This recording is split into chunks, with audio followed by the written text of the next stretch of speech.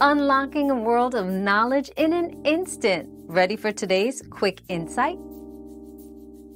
The concept of the death of the soul varies across different cultures and belief systems.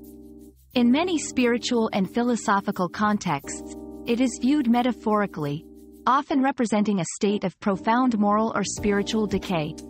This state can be linked to the loss of virtues or disconnection from one's true self or values.